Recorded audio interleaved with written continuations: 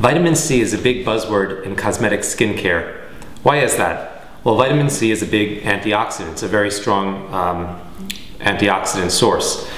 Now I'm going to cut this apple in half and uh, I want to show you a demonstration of how uh, vitamin C works to prevent oxidation. Okay, so we're going to take two halves of this apple.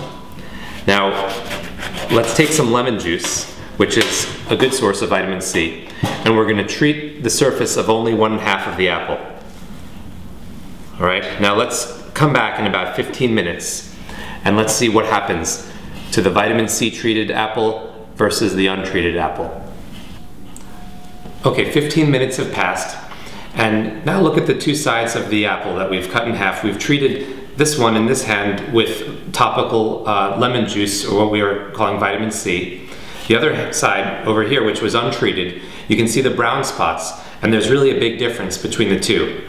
Now if we relate this to the skin, imagine what happens to the surface of your skin after hours or even days in the sun that and unprotected. So topical vitamin C will protect you from damage caused by the sun's rays, from oxidation, and it actually promotes collagen growth so you can reduce wrinkles and fine lines at the same time.